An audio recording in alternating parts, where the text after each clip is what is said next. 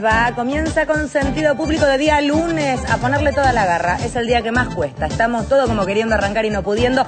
Aquí estamos con un divino programa, 12 grados 3 la temperatura, nubladito el día ideal para que te prepares unos matas riquísimos o un café con leche y te quedes disfrutando el programa que tenemos muchas cosas para compartir con vos. ¿eh? ¿Empezamos, Martincho? Dale.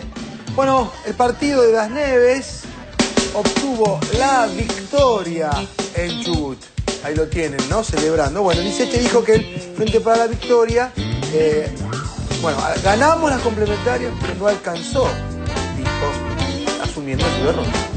Pedro Herrera fue elegido gobernador de manera contundente en La Rioja. Se lo dedicó a Cristina. Gran parte de este triunfo es de ella, dijo. Vamos a estar charlando estos temas con Alfredo después. Sexismo en Tucumán. El juez pidió disculpas, pero no se retractó. Dijo que fue una equívoca expresión verbal. Marian, todo tuyo.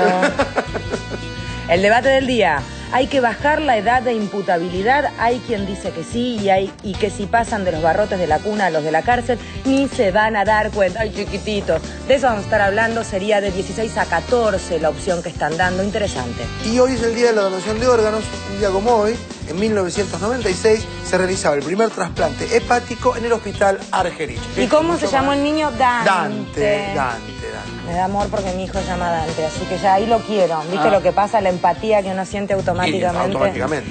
Eh, a ver cómo está ahí afuera. Paciencia. Paciencia. Es lunes, que nada te lo arruine. Tenés una semana divina por delante y todos los accesos demorados. Y el tránsito, a ver cómo viste, le intento ponértela con, Con toda onda, alegría, pero como no. sea. Es imposible. La tipa era como optimista al mango. Por la mañana, nubosidad variable.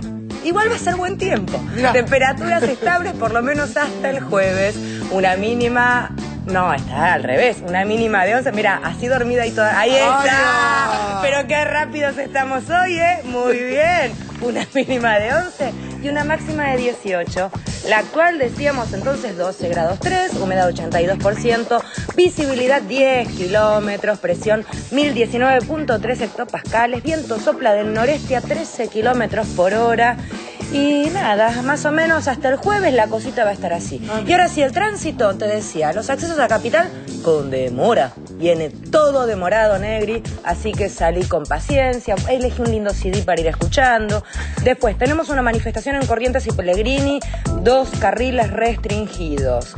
En Villa Soldati, Perito Moreno y Castañera hay una concentración por desalojo. En realidad Villa Soldati, hay quienes le, le dicen bajo flores, tiene que ver con el desalojo de este barrio que ha sido ocupado desde hace más o menos, acá lo tengo 6 de marcado, marzo. desde el 6 de marzo exactamente, y la Policía Metropolitana y la Federal están ya ultimando los detalles para iniciar el desalojo.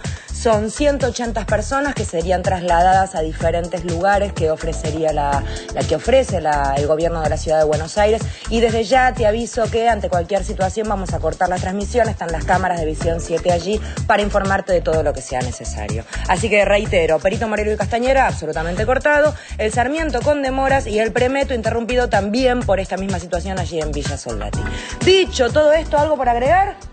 ¿No? Comencemos con el programa y vamos a las elecciones con Alfredo. Vamos, Alfredo. Elecciones complementarias en Chubut. Finalmente se votó, la verdad, en, una, en un proceso electoral de los más escandalosos de, que tiene la historia democrática nueva de 1983 a la fecha. En esas elecciones complementarias, Martín Buse, el candidato de Mario Das Neves, finalmente ganó la eh, gobernación con una diferencia final de apenas 384 votos.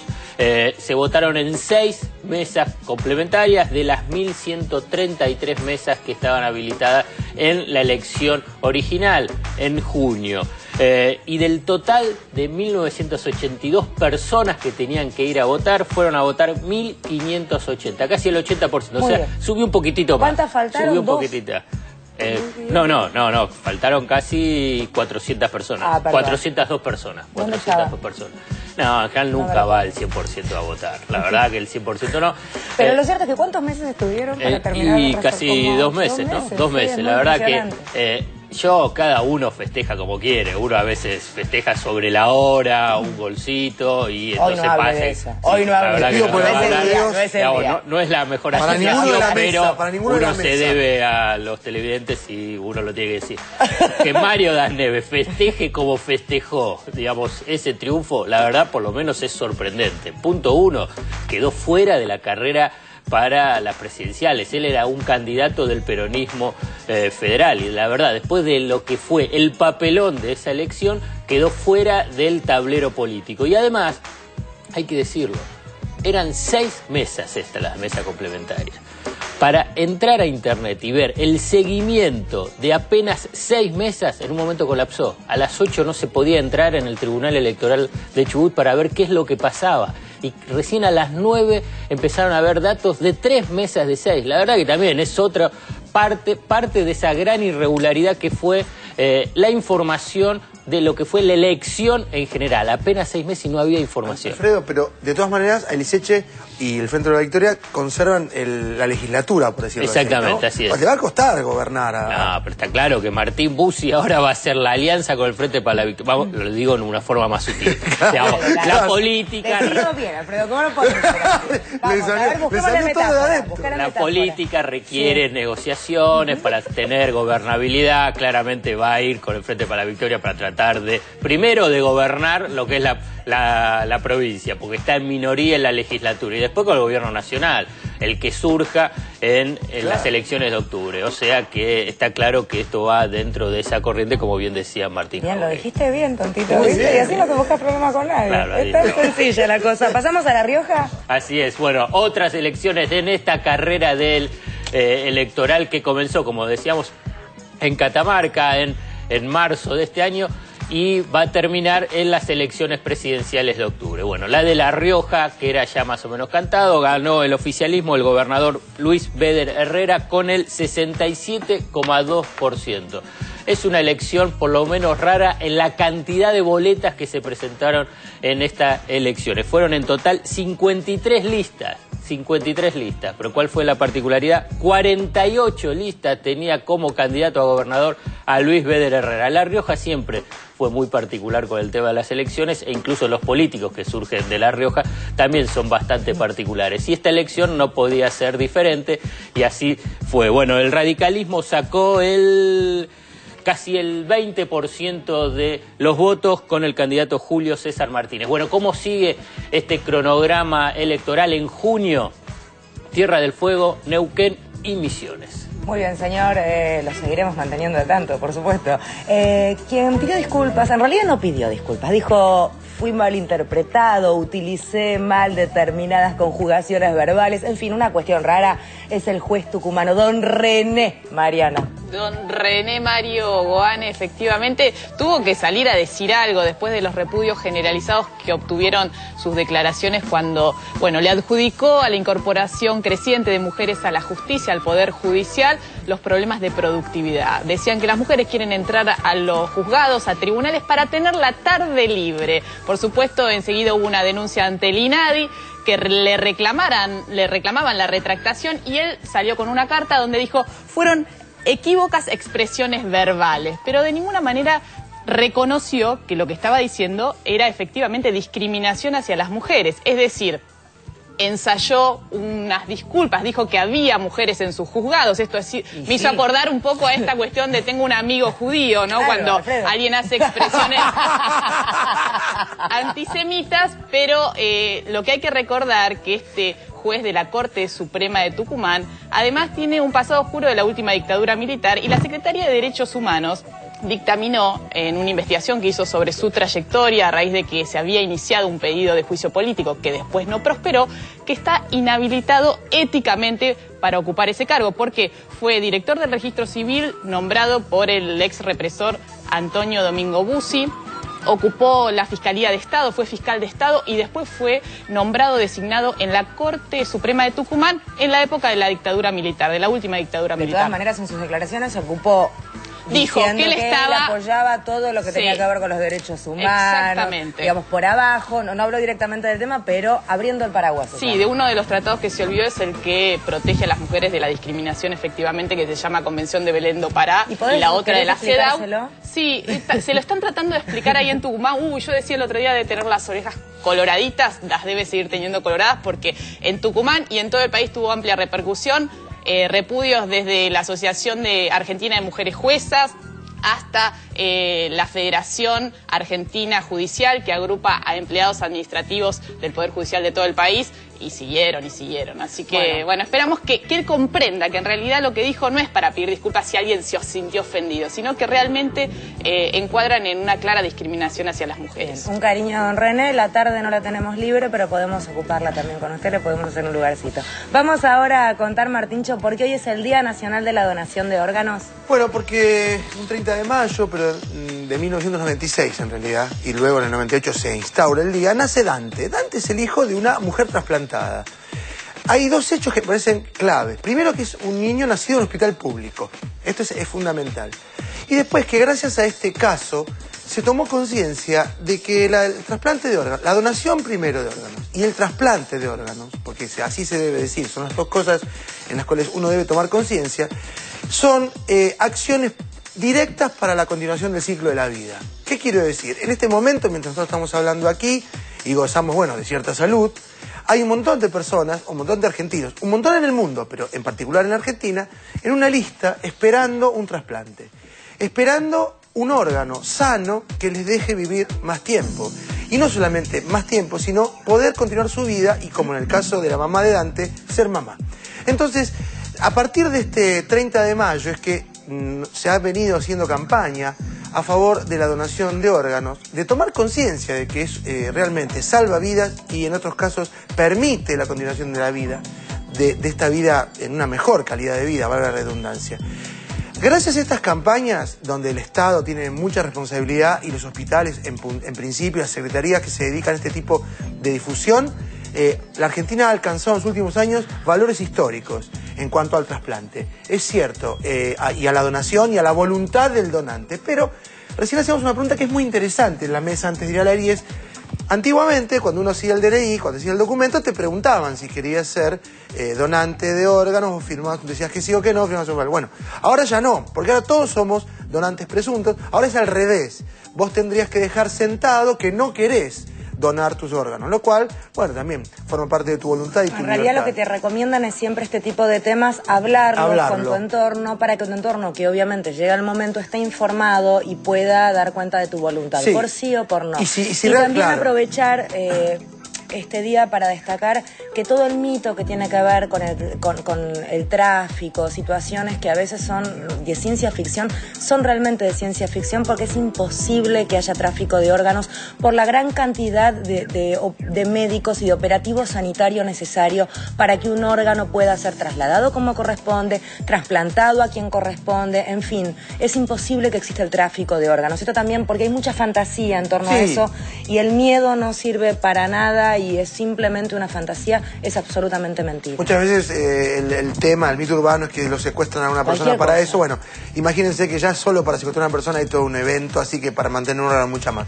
Lo importante, lo claro, eh, somos donantes presuntos. ¿Qué quiere decir? Tenemos esa capacidad. Eh, hay que hablarlo, como bien dijo Federica, es un tema para hablarlo en casa, para que quede claro, para que se sepa que gracias a esto, cuando uno goza de lo bueno, de poder tener vida, si es posible en el más adelante darle vida a otra persona, una mejor calidad de vida, está en nuestras manos. Muy bien, bueno, yo no sé, yo tengo pensado usar mucho mis órganos mucho tiempo Por más. Este, no sé si van a servir, pero obviamente to- Ahí los lo que necesitan es para ustedes. La góndola está para ustedes, a su disposición. Lo pienso igual. no hay partes, hay partes que no se pueden usar, chicos, ya.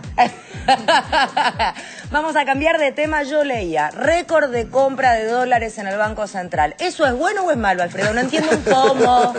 Bueno, mira, yo creo que todos entienden cuando hablan de dólares, porque en Argentina hay una obsesión con el dólar que no existe en otros países, ¿eh? esto también hay que decirlo.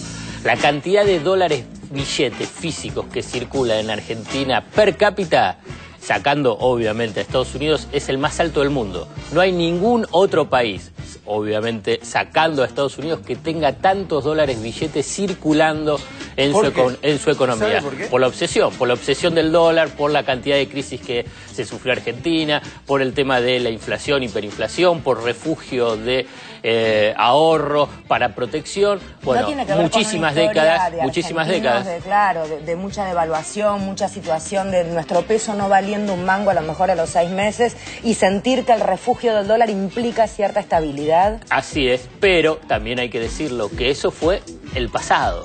Ahora hay que empezar a pensar, aunque los argentinos no lo entiendan, ¿eh? yo sé que yo lo digo, y porque esto lo digo también en reuniones familiares, de amigos, el dólar en el mundo se está debilitando cada vez lo quieren menos al dólar en el mundo. En Argentina no, ¿eh? vuelvo a repetir, todos están locos por el dólar. Pero en el mundo el dólar se está debilitando porque la potencia económica que emite los dólares también se está debilitando porque tiene muchísimos problemas económicos. Entonces, el resto del mundo empieza a utilizar cada vez menos, obviamente que es un proceso lento, al dólar como moneda de reserva, pero también como moneda de cambio. Y entonces se está transformando el mundo. Pero en Argentina la obsesión por el dólar continúa y por eso en los procesos preelectorales, y estamos viviendo un proceso preelectoral, hay mayor tensión vinculado al mercado cambiario. En otras instancias históricas en Argentina, cuando había un gobierno más débil a nivel económico, cuando estaba desdoblado el tipo de cambio en uno comercial, en uno financiero, el mercado marginal era más más grande y más intenso y condicionaba y disciplinaba las políticas económicas. En cambio, hoy hay 52 mil millones de dólares de reserva en el Banco Central. Por eso es tan importante esto, lo que mencionaba Fede, que se compró el viernes 275 millones de dólares en un día. Es el récord histórico. Nunca antes el Banco Central compró tantos dólares en un día. Entonces, las reservas son 52 mil millones de dólares, lo que habla que el Banco Central puede definir lo que quiere en el mercado cambiario. El precio lo puede poner en el lugar que quiere, está en 4.12, pero en el mercado marginal está 4.40, 4.44. La pregunta es, ¿por qué esa diferencia? Porque se incrementaron los controles. Hay más controles para eh, ver quién compra dólares, para evitar y controlar y fiscalizar el tema de la evasión y la fuga de capitales. cosas que antes no firmabas. Exactamente. Entonces, los que no tienen eh, las cuentas en orden, no tienen blanqueado ese capital, entonces van al mercado marginal. El mercado marginal ah, se aprovechan y eh, suben el precio a 4.40, 4.44, pero el total del mercado marginal es irrelevante, no llega ni al 5% del total del movimiento de dólares por día que hay en el mercado local. Por eso, eh, cuando digo, primero, no están las condiciones para ni corridas ni para situaciones de inestabilidad y además lo que te decía, el Banco Central tiene la fuerza suficiente para manejar el dólar a donde quiera. Muy bien, señor, gracias. Vamos ahora al Pellegrini porque hoy es día de mucha reunión y definición por la tarde, Marian. Las autoridades de la Universidad de Buenos Aires designaron a nuevas autoridades. Nuevas, entre comillas, porque en realidad Claudia Plonsic y Valeria Berman, que es la designada rectora y vicerrectora, venían siendo vicerrectoras de la gestión de Jorge Fornazari, la cuestionada gestión por la cual desde hace más de dos meses hay conflicto en el Colegio Nacional Pellegrini. Hoy hay reunión, hoy van a decidir la Asociación General Docente, AGD, uno de los gremios de docentes, si aceptan ya uno de sus eh, representantes adelantaba ayer que no iban a aceptar a Claudia Plonsic y Valeria Berman y también los estudiantes. ¿Por qué? Porque dicen que es más de lo mismo. Esto es lo que están cuestionando. Y recordemos que este no es un conflicto gremial, lo que está en juego es el proyecto educativo del colegio, que se había instaurado durante la gestión de Abraham eh, Gac, que en el 2007 eh, bueno, dejó su cargo, y lo que ese proyecto tenía que ver con una visión del colegio más humanista, más preocupada por los problemas sociales, no con ese perfil técnico de colegio eh, comercial. Y es esto lo que justamente los padres y las madres que acompañan el reclamo de los estudiantes es lo que están planteando, que no quieren volver a ese viejo proyecto de escuela comercial y apoyan sí este colegio más humanista con este proyecto que había instaurado Abraham Gac y que durante 14 años no hubo conflictos. Esto también hay que destacarlo. Hoy hay reunión, seguramente van a decir que no. Dos de la tarde, ¿no? Dos de la tarde. Bien, señora, gracias. Vamos ahora con Martíncho a contarte de qué manera podés comunicarte. En el bloque que viene tenemos debate. ¿Y cuáles son las vías de comunicación, Martín? Sencillo. Eh, Facebook Consentido Público, aparecemos ahí nomás, pones Consentido Público en Facebook y ahí estamos.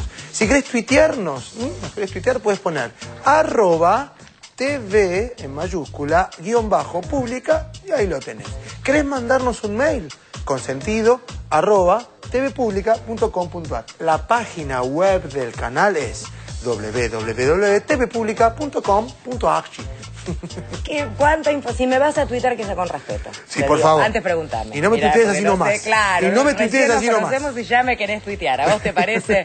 Eh, Podemos decir que Paca Paca está casi incluido. ¿Por qué? Porque está en Cablevisión, pero de una manera diferente, digamos. ¿Por qué? A ver, primer punto, está en el 199, en el canal 199. Esto quiere decir fuera de lo que es La eh, franja la infantil. franja infantil. Por ley, todos los canales tienen que agruparse, el de noticias con los de noticias, los de documentales con los documentales, los de aire con los de aire, los infantiles con los infantiles. Bueno, Paca Paca no está con los infantiles, quedó casi al fondo, ¿verdad? Y por otra parte, en un paquete premium.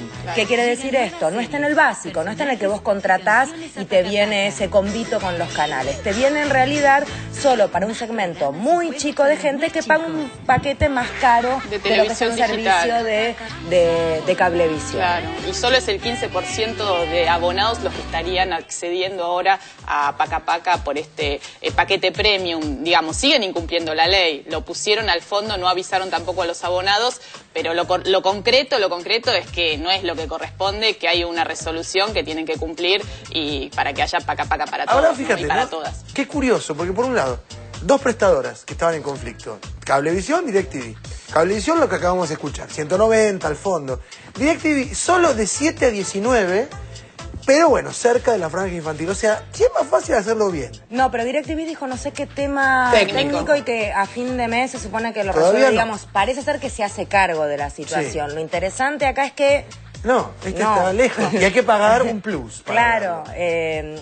Y además, no solo pagar, eh, sino que quienes quisieran pagar tampoco van a poder porque no hay este servicio premium en todo el país. Hacen lo que quieren, a ver, no, les importa, la verdad, no les importa, digamos, lo que son las normas, Claro. porque es una cuestión básica. Digamos, DirecTV, todo bien, cuando las cuestiones técnicas para estos grandes monstruos de la telecomunicación lo resuelven de un día para el otro. En este caso no, tenemos que ver algunas cuestiones técnicas, y con lo de Cablevisión es parte de esa batalla que quiere decir, ah, bueno, eh, yo lo, lo hago un poquitito para no dar el brazo a torcer, es parte de una batalla política y no tiene nada que ver ni con cuestiones técnicas y simplemente es algo de una de desconocer lo que es la ley. Y eso es simplemente el poder económico. El poder económico agarra y dice, bueno, yo quiero hacer lo que eh, les interese y solamente defendiendo sus propios intereses sin importar lo que marca la ley. Y lo que marca la ley ahora es irnos al corte. Y como No. yo respeto la ley, mando al corte, estás acá. Viste que no soy ninguna tonta, ¿eh?